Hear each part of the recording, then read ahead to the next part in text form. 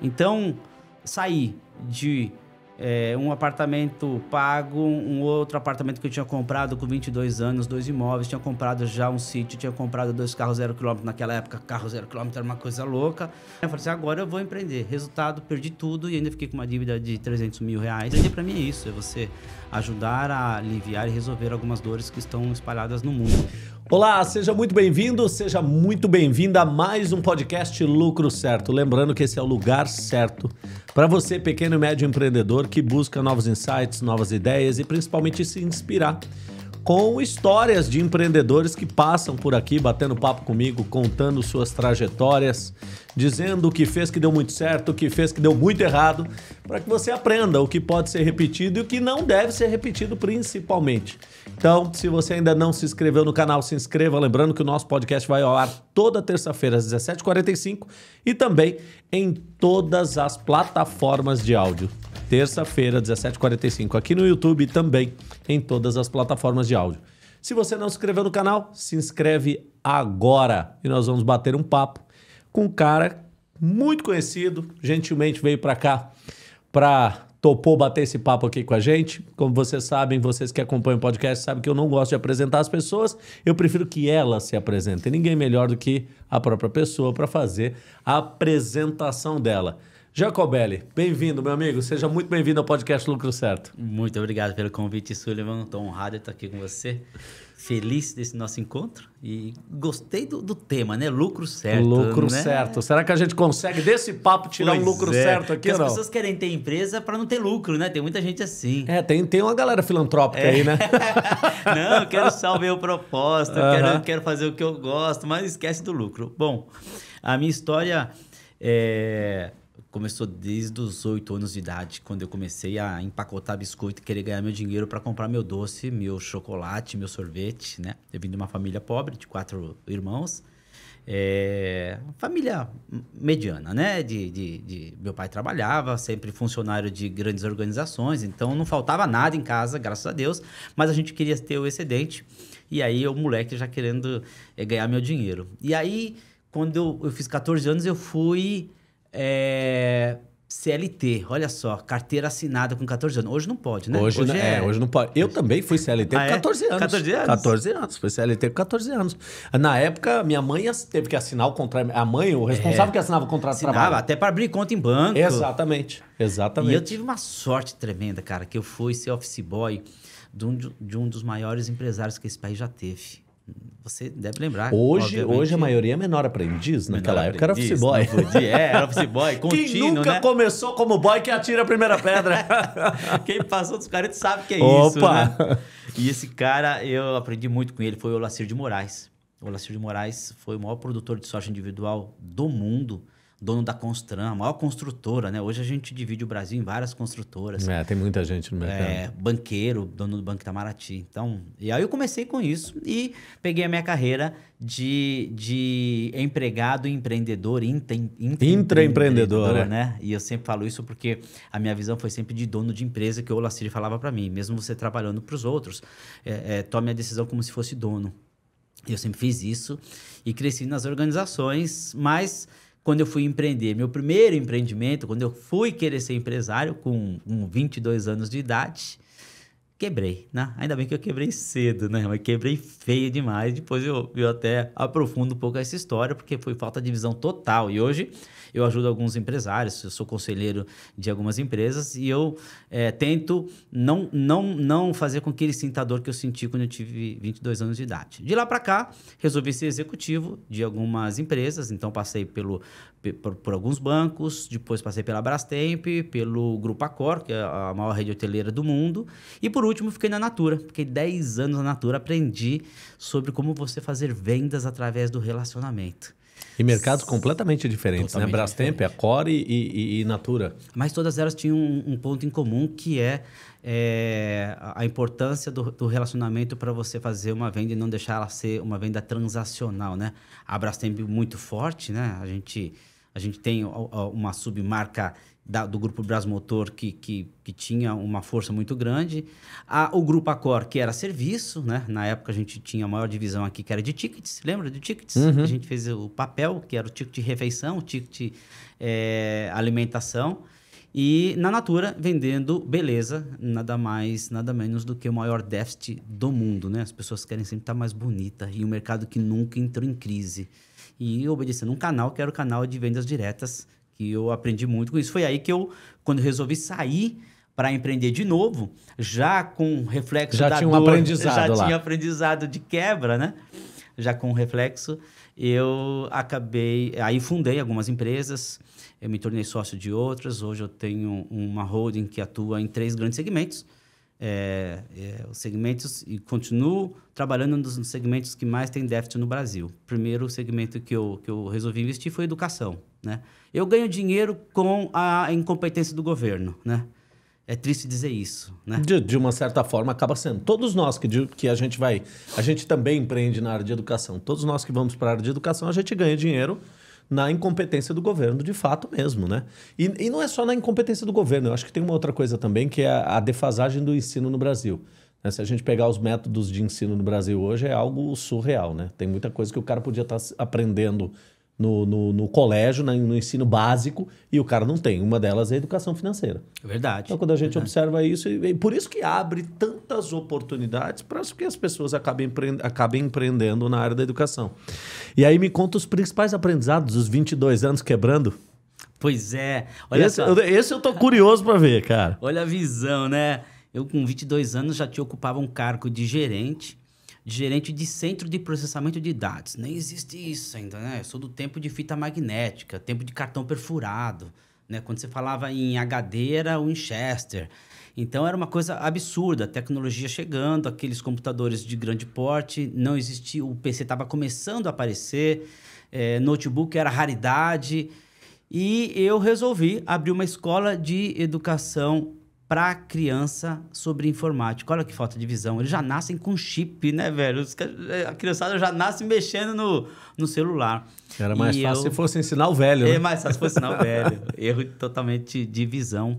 Abri a primeira unidade é, na Zona Leste de São Paulo, num lugar nobre, que é no, no Jardim Anália Franco, é, falando que eu ia ensinar as crianças a mexer no computador. E aí tinha toda a ludicidade, tinha os, os- e o investimento era muito caro, porque você tinha que comprar e fazer a- a- o equipamento rodar na mais alta tecnologia. E naquela época, computador não era o preço que é hoje. Nossa, era preço de um carro. É preço de um carro. Nossa, Tudo bem que tem absurdo. computador hoje que é preço do carro. A Apple é Também, uma que também. chuta, né? É.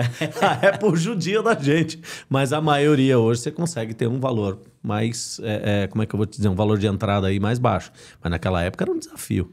E, e como empreendedor, eu tinha na mente aquela história de falar assim, cara, você não pode desistir no primeiro. Então, aí tomei o primeiro tombo, não, não pode desistir. Aí tomei o segundo tombo, não, ó, você tem que, você tem que. Aí por isso que eu falo, Resiliência, é, resiliência. Eu falo assim, calma lá com essa história de que o, o, o grande empreendedor é aquele que é, persiste em tudo. Não, você tem que saber pivotar. Você tem que saber até onde você vai. Que- até que Tem ponto é persistência, até que ponto é teimosia, é né, Jacobelli? teimosia, é. E aí a gente confunde muito a persistência com teimosia. Sim. E eu confundi. É uma linha muito tênue. Não tinha nenhum ninguém para me orientar, não tinha nenhum mentor. Hoje é, é- é tranquilo ser mentor, né? As pessoas falam assim: Ô, Jacobelli, você pode ser meu mentor nesta área, me ajuda aqui. Então, o mentor encurta caminho e economiza dinheiro. Eu não tinha nenhum outro. Então, eu est- estendi o caminho no, no sofrimento e perdi muita grana.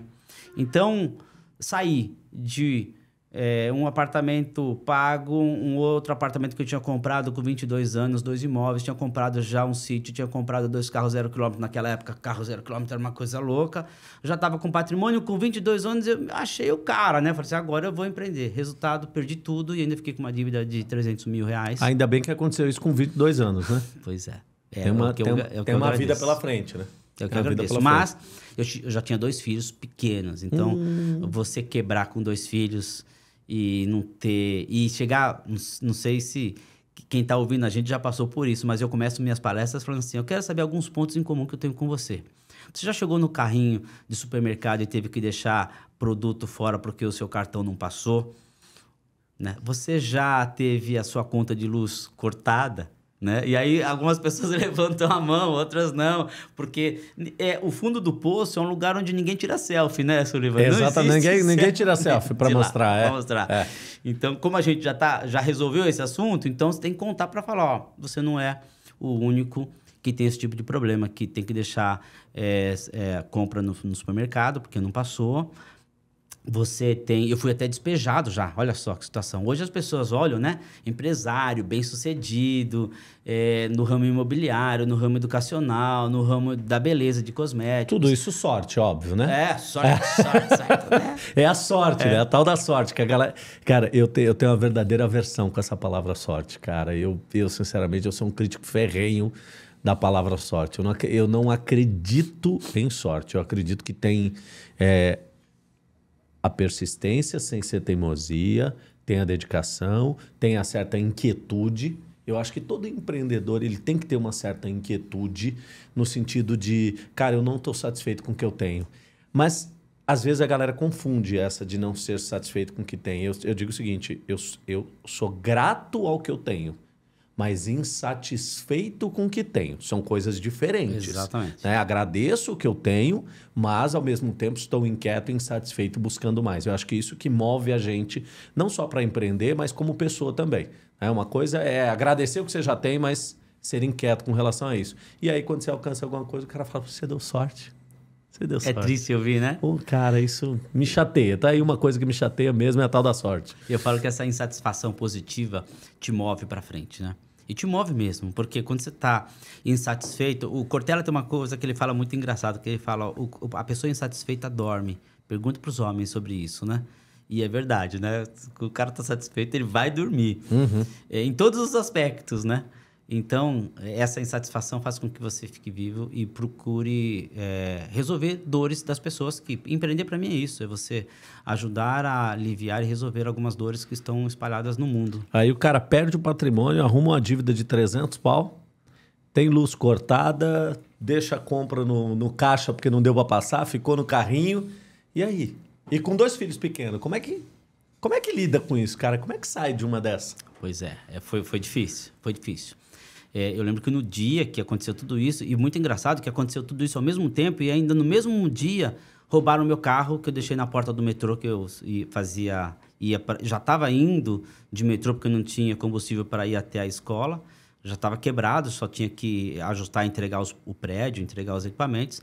E no dia que eu voltei, que cortaram a luz, que eu não tive como fazer compra, no mesmo dia roubaram o meu carro. Olha que absurdo. É tudo. É Aí eu falei assim. Uma... E assim, a coisa acontece tão rápido que você não sabe de onde está vindo onde tanta tá porrada. Vindo, né? onde está vindo. É. Então, se alguém já passou por isso, quer dizer, eu tive uma conversa séria com Deus, né? Nesse esse dia. Conversa séria que foi no fundo. E, e raramente eu choro. E esse dia eu chorei, né? E não, não, é, não é demérito nenhum chorar. Estou falando que... De é jeito meu, nenhum. É, é uma questão... É, é, eu digo que é, um, é uma questão comportamental e emocional de cada um. Tem ah. pessoas que têm uma, uma tolerância maior e outras uma tolerância menor para o choro. E tá tudo bem, tá tudo certo. E eu era durão e tudo sim. mais. Mas aquele dia eu conversei e, e toda tempestade passa, né? E eu lembrava daquela da frase do do, do, da, última, da última frase do, do filme O Vento Levou, não sei se você lembra. Não. Que ele fala assim, que acontece a desgraça total, né? A casa pegando fogo, todo mundo, e ela fala assim, amanhã é outro dia. E aí começa um novo dia, uma nova esperança. Então eu eu coloquei essa frase toda vez que eu me encontro com um problema, assim, amanhã é outro dia. E tudo passa, né, Sullivan? Cara, as cê... coisas legais passam, as coisas ruins passam. Também então... passam. Você sabe que você tem uma, você falou uma coisa legal aí e eu uso, cara, olha que coincidência, né? Eu uso uma frase exatamente igual. Ex quase igual, não exatamente igual, mas quase igual.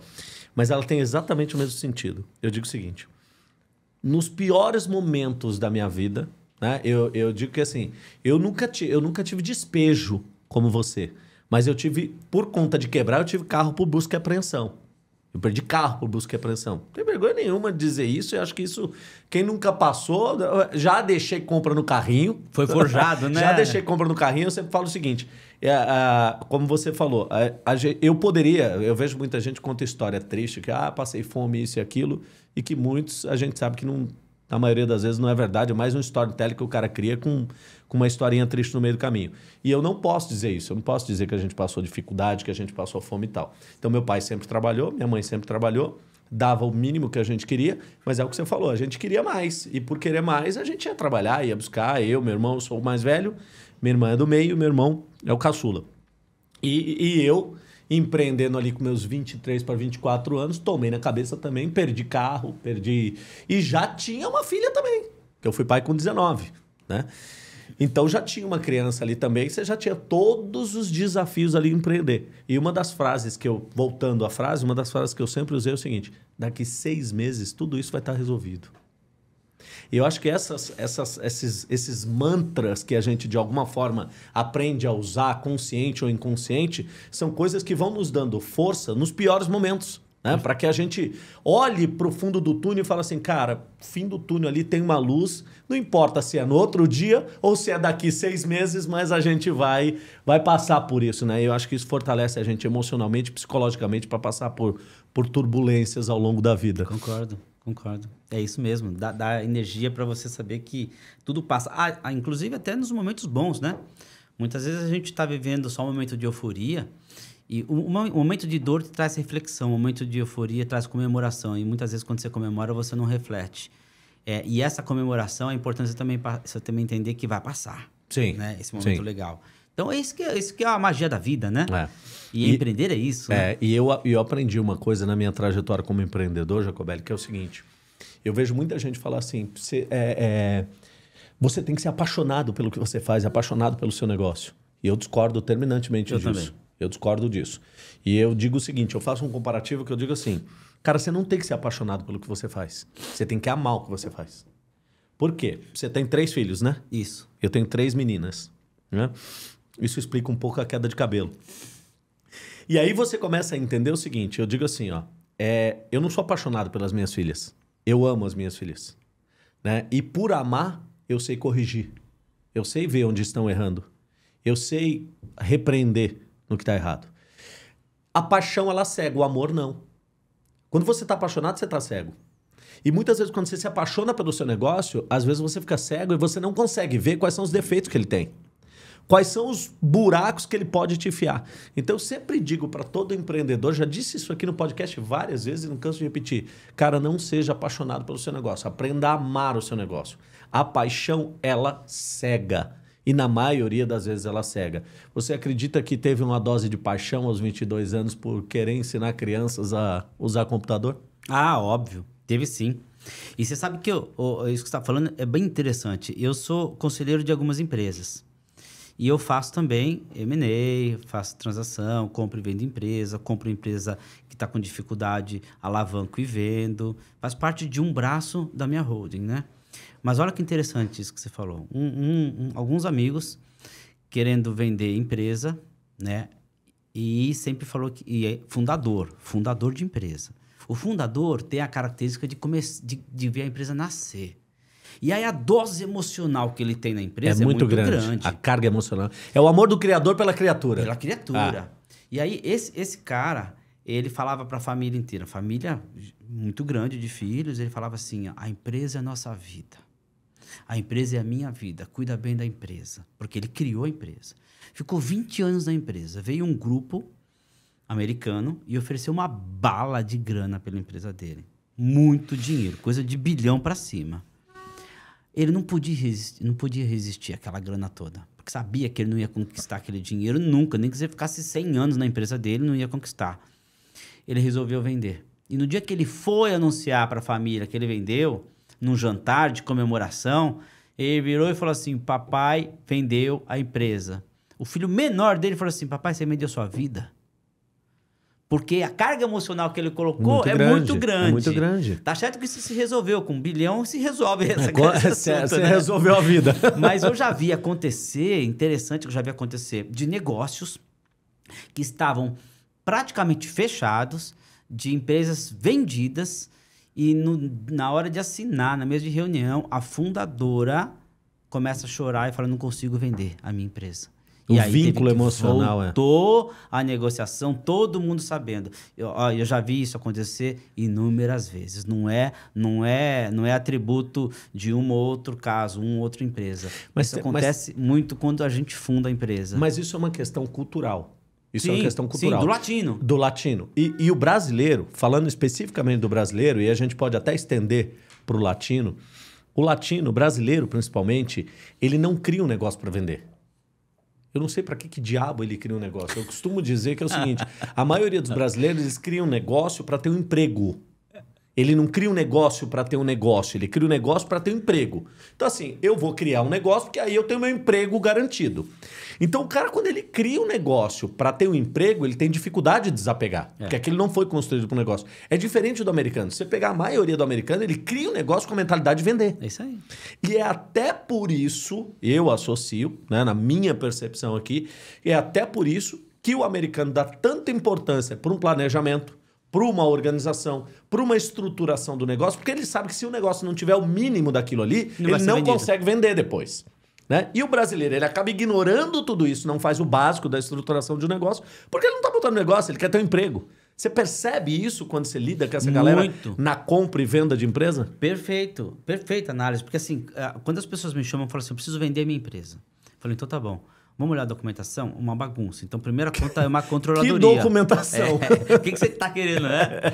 Aí você tem que entrar já com uma controladoria. Depois que você faz é, a controladoria, você entra com o valuation e aí tem técnica para isso. Não é assim, ó, minha empresa vale 100 milhões, minha Sim. empresa vale 40 milhões, porque eu acho, porque aqui que, que eu fiz a carga emocional. Recentemente, a gente foi tentar vender uma empresa de educação eh, online e a pessoa que estava querendo negociar achava que valia muito. A gente foi ver, você tava. Não, não era tudo aquilo. Então ela achava que valia 47 milhões, valia 20, menos da metade do que ela achava. E, e principalmente dependendo da empresa de educação, se ela tá ancorada em uma persona, em um personagem Pior, específico. e essa pior, tava. pior ainda. E essa pior tava. ainda. Aí não vale nada mesmo, Não vale né? nada. Ou vale muito pouco. É a lição que eu dou pra galera do digital.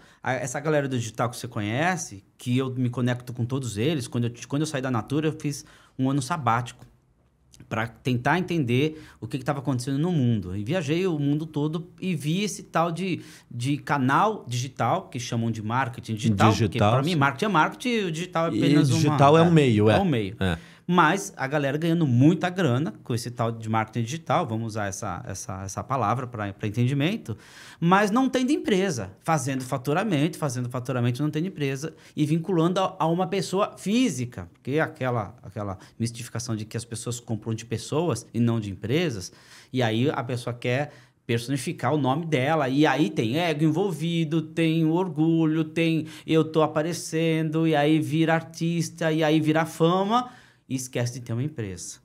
Ganhou dinheiro, anda de Porsche, eu brinco, né? Vai morar em Alphaville e usa preto. Esse, eu- esse cara é o emergente. Não, você tem, você tem é, é, três indicadores. O cara mudou para Alphaville, o cara anda de Porsche e o cara veste preto. Mas tem uma coisa interessante de- desses três indicadores e dessa galera que a gente conhece bem, que eu, fi- eu fico espantado. Que é o seguinte, cara, tem, a gente chega a um determinado nível de, de- Eu digo que tem coisas que só o cabelo branco ou a falta dele que traz pra gente. E traz uma certa maturidade pra gente olhar para umas coisas e falar assim, cara, isso aí tá no- é o princípio do fim. E o que, que você observa muitas vezes dessa galera? Eu vi casos do cara faturar 4, 5, 6 milhões e o cara não ter conhecimento mínimo do regime tributário dele. Mas não ter o conhecimento mínimo a ponto do cara falar assim, cara, eu preciso fazer uma organização tributária aqui, preciso saber o que eu paguei, o que eu não paguei, o que eu deixei de pagar, se é que eu deixei de pagar, e o cara não, ele não consegue ter essa noção. E aí você observa, que aí eu não vou citar nome, tem uma plataforma dessas plataformas de, de, de hospedagem de curso e de compra de curso, que ela fez uma pesquisa, a galera procurar aí vai achar. Fez uma pesquisa que de cada 100 caras, tinha um percentual lá, de cada 100 caras que fizeram mais de um milhão de faturamento no digital, um ano depois, 1% continuava fazendo um milhão. Ou seja, 99% o cara faz, gasta e simplesmente ele desaparece do mercado. Por quê? Porque ele não tem a noção de que aquilo é um negócio. É isso aí. E ele não tem uma noção de dividir isso do ponto de vista fiscal, contábil, do que ele precisa reinvestir, do que ele precisa. Coisa básica que a gente vai falar de qualquer negocinho que o cara for estruturar. Então, assim, você acredita, agora a gente vai entrar numa outra seara, você acredita que isso contribuiu de uma certa forma? Vamos. Até não é demérito, o cara não tinha cultura e capacidade intelectual para saber especificamente conhecimento do que ele estava fazendo. Você acredita que essa galera no mercado acabou, de uma certa forma, manchando o nome do marketing digital e prejudicando esse mercado de uma certa forma? Como é que você vê isso? Eu acho que boa parte sim. Da mesma forma que aconteceu com os coaches, né? Você deve ter sofrido isso e. Sofri e sofro. Então, da Sofri mesma e forma. so- sem dúvida. É, sem eu acho dúvida que nenhuma. também sim. Mas, além do conhecimento, que era pouco deles, eles tinham conhecimento de outra área e não da área organizacional, Sim, sim. é, contábil, tributária, é, gestão, não tinha. Eles estavam sendo mal assessorados, né? Então, quando eu, eu pego é, uma- um, um grande player do mercado que está faturando muito e fala assim, agora eu quero transformar a empresa, a gente faz acontecer. Mas eu percebo que falta muito, é, é muito falta de informação e de uma assessoria profissional. Né? De gente que fez, não, faz assim que dá tudo certo, aqui é Brasil mesmo. E não é. Não é assim. não é assim. Vai- essa conta Ó, vai chegar, Na amiguinho. boa, esse, esse pessoal é meu amigo, assim, eu brinco Sim. com eles, assim, eu conheço todos eles em Alphaville, então eu brinco e falo assim, ó, vestiu preto, andou Porsche, mora em Alphaville, é emergente. A gente Em- brinca, Ah, tem até sim, um grupo no sim, WhatsApp sim. dos emergentes. Emergente. Mas são meus amigos, eu amo vocês, viu? Não é? Não estamos falando nada disso. É que é, uma coisa é você falar de empresário mesmo para constituir e criar equity de empresa para poder vender a empresa. E aí Sim, tem- entrou sim. naquele contexto do emocional, né? Sim. Você não tem que ter o contexto emocional para poder fazer, é, fazer uma, uma transição de empresarial legal. Você tem que ter organização mínima, tributária, logística, uma série de coisas internas, de processos. Quer dizer, se você não tem processo, você é o processo. E muitas vezes o cara é o processo do negócio e não sabe. É o que eu falo, o que eu falo. Às vezes o cara fala assim: não, eu não, eu não desenhei um planejamento estratégico do meu negócio. Às vezes você desenhou, amigo, tá na tua cabeça. Você só precisa colocar isso no papel. É isso aí. E tá tudo bem, tá tudo certo, depende do momento do negócio. Mas o que eu observo também, se você, se você parar e analisar, o marketing digital, a galera criou muitas vezes algumas. Algum, tem alguns mitos em cima do marketing digital e isso vem se desconstruindo ao longo do tempo. né? Você quer ver uma coisa que foi muito sensível que aconteceu no mercado? A galera. Usa- agora não, acho que de um ano e meio para cá volta, tá voltando a falar sobre isso. Mas a galera esqueceu de falar de vendas. A galera só falava de marketing. Se você observar, marketing, marketing, marketing, marketing. Aí a galera começou a observar que as conversões deixaram de acontecer no arrasta para cima e no clica no botão do checkout, enfia um cartão e passa 2, 3, 4, 5 mil reais. E aí a galera começou a observar o seguinte: eu preciso de uma intervenção humana para conseguir fazer uma venda virar e uma venda acontecer. E aí começaram agora a estruturar time de venda. Você vê esse movimento acontecendo também? Ou sou só eu, maluco, que tá vendo isso? Não, tem. Aliás, tem um, quando eles me chamam, eles me chamam para explorar outros canais de distribuição, né? O canal do telemarketing, Canal de venda. né? canal de É. vendas via pode ser até via via smart como o- como WhatsApp outros canais de vendas que é a minha especialidade vender através de pessoas que é a venda consultiva que é a venda de, de é o member get member get Uhum. member get member né esse esse canal quando você pega agora A construção dessa rede, né? não, é, você, você, você usa a internet e você tem a sazonalidade da internet. Novembro na internet é uma loucura. É uma Black loucura. Friday, você Black consegue Friday, pagar né? um lead. É. Aí final do ano engata de novo. Quando é época de eleição, pior ainda, porque tudo eles bloqueiam. Qualquer Sim. coisa eles estão bloqueando. Então, você depender de um único canal de vendas para sustentar a sua empresa não é uma coisa legal. Por isso que você tem que explorar outros canais. Explorar outros canais é entender de time de vendas, é entender qual, qual é o processo que o cliente vai precisar fazer para comprar o seu produto. Quem escolhe por onde comprar, qual canal, é o cliente, É não o cliente, você. não é você, exatamente. Então as pessoas se confundem e falam assim: não, ele tem que. Tem arrasta para cima. E não dá. É humanamente impossível fazer isso, mesmo porque a gente já está vendo é, as pessoas falando, e tem muito disso, né? Ah, Jacobelli, eu faturo 10 milhões. Eu falei assim: faturamento é ego. Me dá o DRE. Hã? Qual o seu DRE? Eu quero saber quanto você lucrou. O seu lucro é certo, né? Eu- Sim, o lucro é certo ou não é certo? É isso mesmo. É isso mesmo. Não, o cara fatura 10 milhões, mas gasta 11, velho, você não tem um negócio. E né? muitos é entrar. ego. É, e muito. É igual a, é igual a história da curtida e do, do, do número de seguidores. Eu falo curtida e número de seguidores. Curtida, comentário, número de seguidores são métricas de vaidade. Exato. tá? Eu quero saber se você está convertendo isso em receita no fim do dia. Né? E muitas vezes esses caras que falam assim, eu tenho um faturamento de 10 milhões, quando vai ver, ele não tem um faturamento de 10 milhões. Ele teve num evento específico um faturamento de 10 milhões. Só que se você dilui isso entre o tempo que ele preparou aquilo e o tempo que ele vai fazer o próximo, às vezes dá 1 milhão e 200 de faturamento, 1 milhão e meio por mês, se você dilui isso no tempo. E quando você coloca lá na última linha do DRE e vai analisar o processo, o que o cara agregou de custo de vida aqui, aí você entra na história da Porsche, disso, daquilo, o cara não comporta aquela estrutura. É isso. Isso também é uma das coisas que eu vejo. E assim, é o que você falou.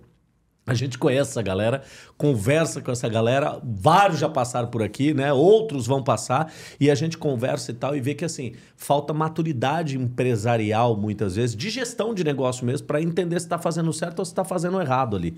Você observa que isso hoje, essa galera do digital, que às vezes está aí assistindo a gente, eles deram amadurecida com relação a isso ou não? Tem uma galera abrindo o olho para isso? Não, as mais, as mais espertas já se tocaram desse movimento. E são os grandes players. Esses caras vão, vão Esses caras vão no ficar no mercado. mercado. Eles vão Sim, ficar. Eles perfeito. vão fazer a mudança um pouco do nome, é, Se pessoal, reposicionar. se reposicionar. É, eles começaram a fazer uma estrutura diferente de organização, já estão cuidando da controladoria, já estão É um cuidando negócio, dos né? canais. Passou a ser é um negócio. negócio. É. É um negócio. Esses caras, alguns, mas é, quem não percebeu isso e tá achando que vai continuar surfando a mesma onda que Não tava vai. surfando, não vai. Não vai. Você quer ver uma coisa? Um dia a gente tava num desses grupos assim, batendo papo, e tinha um é, dando risada, tipo, pô, ah, vendi não sei quantos, vai lá, vendi 100 cursos digitais, pô, nem 90 não concluiu o curso. O cara ria. Eu falei assim, eu no seu lugar estaria extremamente preocupado Desesperado. desesperadíssimo com isso. Então, quando você escuta uma coisa dessa, você vê que falta maturidade do cara. O cara tá achando que aquilo é um ponto positivo. Não, aquilo é um ponto negativo, amigo. Esse teu cliente, ele não vai andar na esteira, ele não vai te indicar, ele não consumiu o teu produto e ele não teve transformação. No final da linha, ele não teve transformação com o teu produto. Então, assim, se esse cara não tem transformação, é engraçado que empresário que passa aqui nessa bancada, cara, e a gente conversa, uma das coisas que o cara fala como primordial é: preciso ouvir o meu cliente. Exato. Né? Então, assim, a pergunta que eu deixo é: o quanto um cara desse foi ouvir o cliente para saber o porquê que o cliente não caminhou nesse produto, né? O porquê que o consumo não aconteceu. Uma das coisas que a gente mais faz aqui, Jacobelli, é, além de vender, fazer questão que o cara consuma o produto. Porque quando ele consome o produto, ele gera para mim insights, ele me dá ideias do que eu posso fazer com o produto, ele me dá feedback, ele retroalimenta esse processo. Então, assim, a gente tem uma preocupação muito grande, não só na venda, mas no fazer o cara consumir esse produto também. Eu vejo que muitas vezes, quando o cara não consome, a... não é a longo prazo. A médio prazo, você vai ter uma escassez de, de, de gente consumindo o teu produto e também de andando. O que vai impactar no LTV e uma série de outros fatores que a gente vê lá na frente. O que, que você acha que a gente olhando para esse marketing digital, principalmente falando assim o nosso, né, que a gente conhece bem essa galera de curso, o que, que você olha para frente, próximo um ano, dois? O que, que você acha que acontece nesse mercado? Principais transformações. Dá para ter um palpite? Dá para ter uma ideia? Ah, é- essa preocupação das pessoas fazerem vendas transacionais, isso acontece também com produto físico, não só com produto Sim. digital, né? Eles estão preocupados em fazer a, a- a primeira venda e não estão preocupados com recorrência. Ou seja, a marca pouco importa. Então, os caras não querem olhar a marca, eles querem fazer faturamento. E quem vê recorrência vê marca porque tem produto de qualidade. O fato de do digital os caras colocarem qualquer lixo, e tem muito lixo no mercado, né? Demais, demais, demais. sendo vendido, a preocupação é: vou levantar uma grana depois eu faço outra coisa. Esses caras saem do mercado e detona quem é sério. Esse é o problema. E, e- e detona quem é sério porque todo mundo começa a ficar pejorativo, né? Eu- estou no mercado de marketing de rede que é pejorativo. Eu não posso falar de marketing multinível que o pessoal confunde com pirâmide. Confunde com pirâmide. São É. coisas completamente diferentes. né? Totalmente. O o mar- marketing multinível, o marketing em rede ou de relacionamento nos Estados Unidos, na Ásia e na Europa é, é um modelo de empreendedorismo super eficaz. E mercados Brasil, extremamente bilionários. bilionários. As empresas, a maioria, são americanas. E que vem para o Brasil tentar entender como é, que esse, como é que esse mercado aqui. A gente tem uma possibilidade de crescer tão seriamente em alguns mercados e a gente tem gente que detona esse mercado, né? A gente acabou de falar do, do coach, a gente fala, a gente ouve também sobre o, o marketing de relacionamento, o marketing de multinível e o marketing digital. Mas esse mercado de marketing digital, se você não tiver quem consome seu produto, é a história do livro que é comprado, mas ele não é lido. Sim. E você foi best-seller, e eu também fui. A gente, o maior prazer nosso não é o cara comprar o livro, é porque ler. o livro não dá dinheiro, é, é ler. ler o livro, é, é ler. ler, né? Eu falo assim, Jacobelli, parênteses aqui, é uma brincadeira. Eu falo assim que todo mundo tem uma pilha de livro que quer comprar, uma pilha de livro que comprou e uma pilha de livro que leu. É, exatamente. cara, é muito comum isso. Então, assim, é, é o desafio o cara ler o negócio. Mas e aí? E se não tiver essa, é, não, se não tiver essa transformação do acompanhamento mesmo de uma esteira, e não é esteira só para você ter produtos de baixo ticket de alto ticket, é uma esteira que vai fazer a, a pessoa se transformar mesmo, né? No mercado de marketing de rede, a gente fala de transformação de vidas, porque são pessoas que não tinham ou não têm é, dignidade de ter o dinheiro dele próprio ou principalmente as mulheres, né, que se conectam muito com isso, uhum. tem que pedir pro marido para fazer o cabelo, unha, para poder fazer alguma coisa, ou colocar comida para dentro de casa. É, é aquela que não consegue o trabalho no interior do país, onde a única opção é você trabalhar no varejo, na lojinha que está no centro da cidade, ou você ser funcionário público. Então, que opção que a gente tem? Quando a gente olha isso, Ela a gente fala de mercado informal desse, né? E esse, e, esse, e esse mercado de transformação é tão, é tão importante que eu presenciei pessoas que tatuavam o logotipo da empresa em retribuição a transformação que da transformação que teve na vida dela. Então, a quem vende curso de transformação tem que acompanhar a transformação, que eu falo da venda consultiva e não a venda transacional. Você tem um trabalho muito, muito é, importante no país, que você já deve ter transformado a vida de muita gente. Mas também não é responsabilidade 100% sua, né? Sim. Eu falo que é 50-50, Claro. né? Você olha que metade é sua responsabilidade, metade é dele, né? Eu digo quando as pessoas me chamam para poder dar curso de motivação, é, eu falo assim, eu não tenho capacidade de motivar ninguém. Porque a motivação, para mim, pelo conceito, é de dentro para fora, não é de fora para dentro. Perfeito, simples o, assim. O Também máximo concordo. que eu faço é criar um ambiente para a pessoa se motivar. É um ambiente eu posso criar. Agora, eu não, não, vou obrigar ninguém. Não tem Jesus que consiga fazer a pessoa se motivar se ela não quiser. No, no, no mercado digital é isso. Às vezes elas consomem porque elas estão elas estão com ansiedade de ter uma expectativa X consome, não tem o, o, o incentivo para poder continuar e quem está oferecendo também não proporciona esse ambiente. Não está preocupado com isso. Para isso. vezes. Então, quem está preocupado em proporcionar um ambiente para a pessoa ter uma transformação na vida dela através da educação, esses caras vão ficar no mercado. É, eu observo assim também o seguinte: é, eu acho que com o mercado digital aconteceu o que acontece com todo o mercado. Né? Ele tem uma bolha, e essa bolha, o mercado não é desse tamanho. E aí ele vai amadurecer. Quando ele amadurece, ele chega num tamanho. E eu acredito que até o tamanho que ele vai chegar é um tamanho muito significativo, é um Sim. tamanho muito bacana. Mas ele não é essa bolha e ele vai chegar e vai se acomodar. E aí passa pelo que você está falando. Então você tem uma bolha com vários players, alguns tratando o negócio de uma forma meio amadora, e esses caras naturalmente vão sair, vão dar espaço e fica ali aquele clã, aquele grupo que tratou o negócio sério desde o começo, ou que mesmo que não tenha tratado desde o começo, teve a capacidade de se reinventar, se reposicionar, estruturar o teu negócio e agora entendeu a importância do que deve ser feito do ponto de vista de gestão, não só do negócio, mas também do produto, para fazer uma entrega do produto de qualidade. Então, acho que isso vai acontecer. E na minha percepção, olhando, eu acredito que isso o ano dessa virada foi 2022. Eu acho que esse foi o ano para isso começar a se acomodar. Eu acho que tem mais um ano ou dois de amadurecimento, mas esse foi o ano. Você acredita nisso também? Ou... É, a gente, que que teve, acha? a gente teve a anomalia da Covid, né? Sim. Isso você vê, você vê tem empresário que quebrou, empresário que faturou 3, 4, 10 vezes Posso, mais. posso fazer um parênteses aqui? Claro. Nesse sentido do marketing digital, eu acho que a Covid ela acelerou a explosão dessa bolha e o encolhimento dela muito rápido, assim. A gente conseguiu fazer boom e voltar em dois anos. E acho que 2022 foi esse ano. Aí eu quero, quero te ouvir nessa percepção com relação a isso. É isso, eu tenho essa percepção também. Também? Então, agora, o que está acontecendo, o movimento que está acontecendo é a demanda reprimida de eventos presenciais. Perfeito. Não tá tão salas lotadas, todo mundo lotado, porque o pessoal estava com saudade de fazer isso. Perfeito. Mas quem se posicionou no marketing digital, vou falar do, do- do- de cursos de graduação em si, né? Quando a gente olha o estudo. É, eu, quando fiz a, a- a Fundação Getúlio Vargas, e o minha, minha tese era educação à distância. Estou falando de 20 anos atrás, praticamente. 15, 20 anos 2002. atrás. 2002. Educação à distância. A- Aquilo a ali era ideia- mato. Educação à distância. não, 2002 a era ideia é o mato. seguinte, velho, você vai fazer cursinho à distância, é igual aqueles cursos da Universal. Não sei se você lembra, que Le- era por correspondência. Não lembro, já ouvi falar. E aí era assim, Por correspondência, cara, terrível, é verdade. terrível. verdade. E aí, quando você fala de educação à E distância... você sabe que isso existe até hoje, né? Não, é, não, não, Parênteses à parte, É. existe até hoje. Existe, cara. Existe. Olha que interessante. E aí, quando você fala que a educação à distância poderia acelerar o processo de aprendizado, que ela não precisa ter baixa qualidade por ser à distância, e algumas, algumas, alguns pilares importantes para sustentar uma educação à distância, muita gente usava como pejorativo. Ei, pera com isso, não vai acontecer. Isso aí é só para isso, você nem vai ver isso.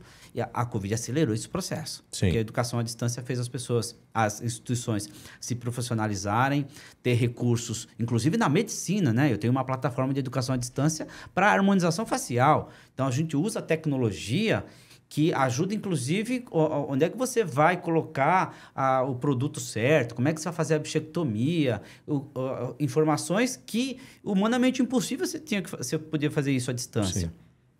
É, e ferramentas que dão atenção ao, ao aluno. Então, nós temos hoje leitor de quem está assistindo aula. Se o cara vi- desviar a cabeça assim, para a aula. O cara para de falar. Porque ele já percebeu que você teve um desvio do foco. Quando você volta, Ele ele, ele vai ler. Ele consegue ler a pupila dos seus olhos para saber se você está atento ou não. Então, são tecnologias de, de, de, de, de inteligência artificial que ajuda na educação à distância. Pois é, a Covid acelerou esse processo.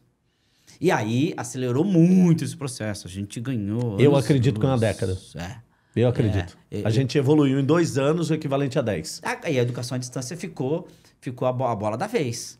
Nesse, nesse movimento, tinha os profissionais, o professor que tinha que vender o conhecimento, falou assim: cara, meu conhecimento não preciso fazer através de uma universidade, eu posso fazer o meu conhecimento e eu vou aplicar. E aí ele começou a ganhar dinheiro sozinho e tá tudo certo, né?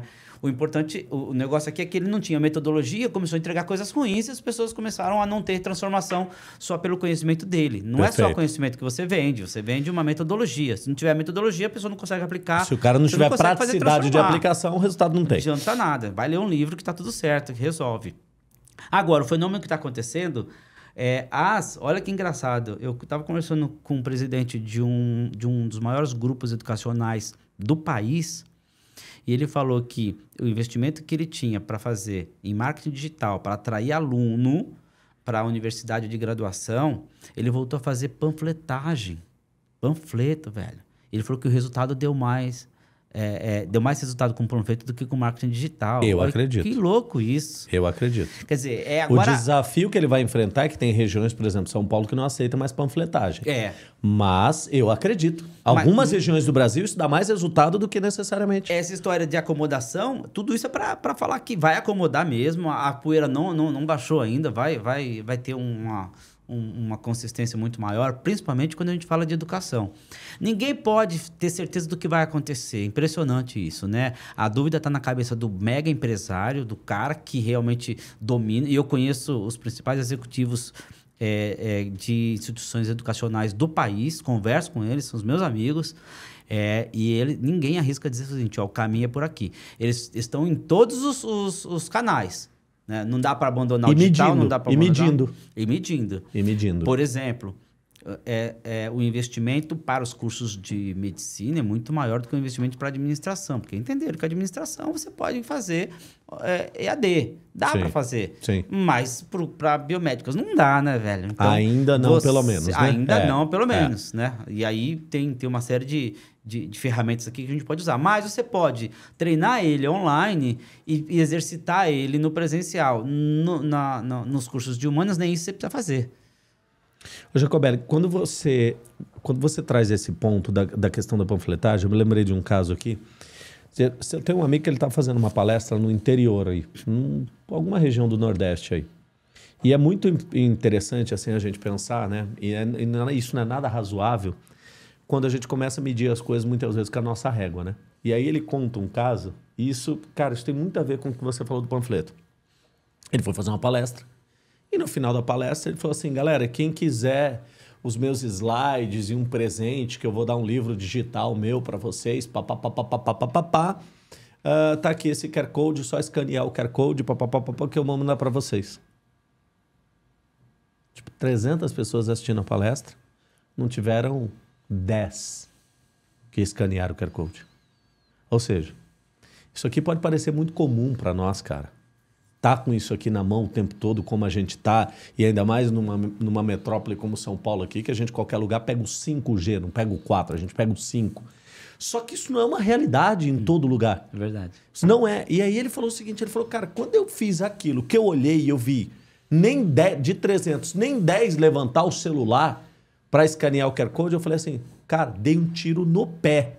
Dei um tiro no pé. Eu deveria ter entregue uma folhinha para cada um. Tá aí o panfleto. Perfeito. Então, assim, é a questão, muitas vezes, de não dá para prever futuro. Futurologia em negócio não funciona. Isso é fato.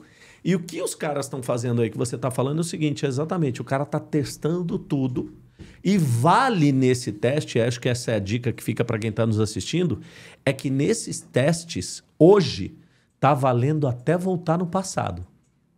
Tá valendo e até voltar extremo, no passado. Vai, vai pro metaverso. Exatamente. Não tem problema, mas testa, é. é. Vai pro metaverso e entrega panfleto. Exato. Mede essa porra toda e vamos é ver o que, que traz resultado. É isso aí. Então, porque tem, ó, é, é, a sensibilidade do produto, do serviço, da região, é do público. Tem, muito, tem muitos fatores. Tem muitas variáveis. Tem muitas que você, variáveis. Ó, tem que olhar e falar assim: o que, que é bom pro meu negócio? Por isso que não tem a, a bala de prata, velho. E tem aquela coisa também, né? O canal que funcionar aqui em São Paulo, ele pode não funcionar em Porto Alegre. E o que funciona em Porto Alegre pode não funcionar em Recife, e assim sucessivamente. Até porque nós somos um país de dimensões continentais. Então, assim, eu acho que a gente tem um grande desafio nesse pós-pandemia aí. Eu não digo é, é, conseguir pressupor o que, que vai acontecer, mas é ter a capacidade de fazer leitura rápida. Eu acho que quem. Muita gente vai se reposicionar rápido ou vai se posicionar rápido se tiver agilidade em fazer leituras de números para conseguir transformar isso em estratégia. Então, uma das coisas. Eu, eu brinco aqui no escritório, né? Que eu falo que eu sou o louco do Power BI. Você conhece Power BI. Sim, sim. E, cara, eu tenho Power BI no meu. Eu, eu tenho o um aplicativo do Power BI no meu, no meu celular. E, cara, eu olho tudo, todo o número, o tempo todo, o tempo todo do negócio, pra, vai ali regulando, vai ali ajustando, vai fazendo tudo quanto é análise. Então, eu acho que é isso que a gente tem que fazer, cara. Porque prever não dá. Você pode ter ideia, claro que a gente também eu brinco aqui com o nosso diretor Canção, que eu falo, a gente também não é menino, a gente já perdeu o cabelo, ou tá com o cabelo branco, então a gente já tem uma certa noção, mas dizer que dá para acertar no que vai acontecer 2023, não dá. Até porque nós temos um cenário político aí que a gente sabe se lá o que, que vai acontecer também.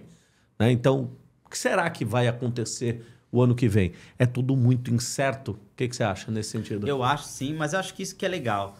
Porque nada, nada é estável, principalmente para quem empreende. Então, ter, ter essa sensação de que você precisa testar, fazer o seu MVP, é, ter, ter um direcionamento, acho que é importante, mas transformar dados em informação, informação em conhecimento, faz a diferença de quem quer aprofundar mesmo o seu negócio. E, e as pessoas às vezes é, pedem conselho de o que, que você acha do meu negócio? Ela conta o um negócio desse, acha que em cinco minutos eu vou conseguir aconselhar ela. Você precisa de seis meses. Canso de ouvir aprofundar. isso, cara. Não, você deve ser. Toda hora deve chegar para você. Canso né? de ouvir isso. Ah, meu cara. negócio é esse. O é, que, que, que, você faço? acha? É. E assim. E impossível, né? Aí você começa a ser muito genérico. E o genérico muito. serve para todo mundo. Serve para todo mundo. Então, Exatamente. Mas quer aprofundar, eu, eu, a experiência que eu tenho em conselho, em advisor de algumas empresas, eu tenho percebido que há uma instabilidade no empresário, e empresário grande. Às vezes o cara assim, agora não vou conseguir fazer. O que me trouxe até aqui não vai me levar para Não me leva adiante, anos. perfeito. Me ajuda aqui com outra visão. E às vezes, o que a armadilha que a gente cai é quando ele fala assim: e você? Que decisão tomaria? E eu não falo. Porque se eu tivesse que tomar decisão, eu estava no lugar dele. Perfeito. A única coisa que eu faço é fazer ele refletir, mostrar algumas posições, mas a decisão é dele. Então eu provoco reflexão em cima do contexto de todo o conhecimento Trazido tenho, por ele. de outros negócios, de mercado nacional, internacional, de um mercado de uma forma mais ampla, mas a decisão é dele. E eu vejo muita gente perdida. E muitas vezes o cara acha que a gente é generalista, porque dá uma resposta dessa natureza, né? Eu tenho, eu tenho usado duas estratégias com esse tipo de pergunta que eu brinco, eu brinco com os meus alunos por ter liberdade, eu falo assim, cara, não faz pergunta cretina. Ah, o que eu faria? Essa é pergunta cretina. Não faz. Então vamos fazer o seguinte, ó. Tem, na minha mentoria tem três regras. Não faz pergunta cretina. E o que é a pergunta cretina? A pergunta cretina ela tem duas características. Uma, o Google responde. Se o Google responde, vai procurar no Google, não me pergunta. Perfeito. E a outra, ela não começa com como. A pergunta cretina, o Google responde, ela não começa com como. Então a regra básica da galera é: não faz pergunta cretina. E para não fazer pergunta cretina, você não faz pergunta que o Google responde e faça perguntas começando com como. Sullivan, como eu. Pá. Cara, quando eu comecei a colocar isso, e a galera vai fazer a pergunta, fala, refaz, começa com como. E é legal você fazer essa dinâmica, essa brincadeira, porque isso vai educando o cara a botar o cara num mindset, num modelo mental onde ele tem que pensar para formular o que ele vai perguntar. Eu vejo que as pessoas têm dificuldade até de fazer pergunta sobre a dificuldade que ela está enfrentando. É, É. muito maluco É, você imaginar esse é, isso. Esse é o foco da- do negócio. Esse, esse é. um É. desafio surreal, cara. É, e a gente faz o hot seat, né? Que a gente Sim. costuma fazer. Fala assim, e aí, conta aí. Você tem um minuto. Valendo. Eu tava com o Roberto Nhachik esses dias lá Sim. em Recife. Valendo. É pra assim, sabe o que é? Um dia, e quando eu era criança, pá, acabou. Perdeu seu tempo. Não Já acabou, foi. Então não Próximo, consegue, né? próximo. E pra- o segredo hoje, e eu, e eu voltando à nossa conversa inicial, para mim, é saber fazer boas perguntas para você, para sua vida, para o seu negócio. E o Lacer de Moraes, ele só falava comigo através de perguntas. Ele nunca fazia uma afirmação. Nunca. Todas as coisas, todo, todo direc- to- to- toda a frase que ele é, é, direcionava a mim era para fazer uma pergunta. Então ele perguntava de coisas da, da economia mundial, economia na- é, do, do Brasil, e perguntas do tipo: que, por que, que você mente? Qual, ah, que caminho você acha que vai levar isso daí? Você sabe quem te ama?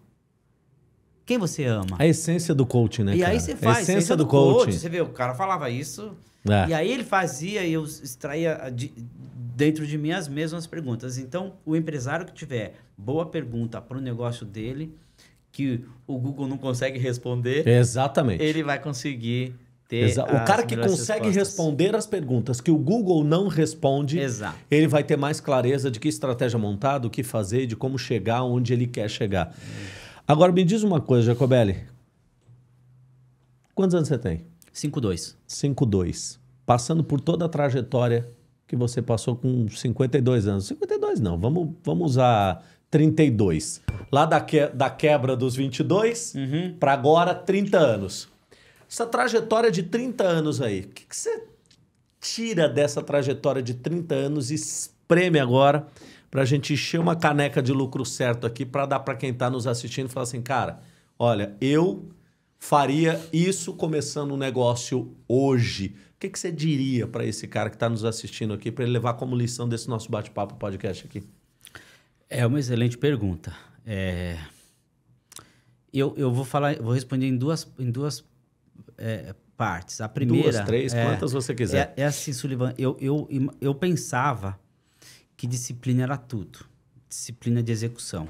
Pensava. Tanto é que tem um capítulo no meu livro que fala disciplina, disciplina, disciplina. Porque muita gente quer motivação e precisa de disciplina de execução. Disciplina para fazer o que tem que ser feito, né? Foco, concentração no que tem que ser feito. E aí, nos últimos anos, eu descobri que disciplina fica em segundo, no segundo plano. O mais importante em todo, em tudo que eu construí, em tudo que me fez feliz, são as relações. E as relações se constroem no ambiente onde você está. Então, cuide do ambiente. Cuide do ambiente onde você está. Porque esse ambiente vai mostrar onde você vai chegar. Você, muitas vezes, é influenciado e muitas vezes você influencia. Às vezes mais influenciado, às vezes mais... Então, a gente sempre sofre as duas, as, as, as- as duas fases, de ser influenciado e de influenciar. Você tocou numa coisa terrível, que às vezes é, é a gente não saber o quanto nós estamos influenciando. É.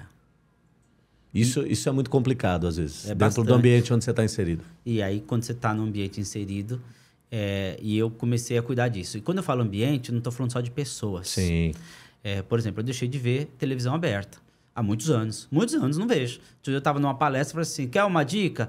É, jogue sua TV fora, não veja TV, porque isso é uma influência tão negativa que você não vai conseguir construir o que você quer construir tendo essa influência negativa. Um exemplo, só estou dando um exemplo.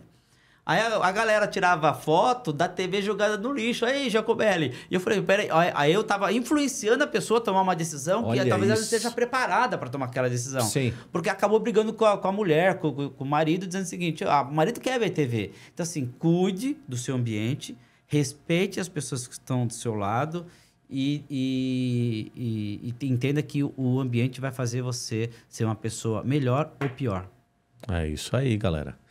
Gostou? Esse foi o nosso podcast, Jacobelli. Cara, quero te agradecer imensamente Eu que estou por, agradecido aqui. por, por estar aqui com a gente, por compartilhar esses 30 e poucos anos de experiência. Eu sei que, só para vocês terem uma ideia, tem gente que paga milhões para ter a mentoria com esse cara. E vocês tiveram aí 50 e poucos minutos de um bate-papo com vários insights, com várias dicas.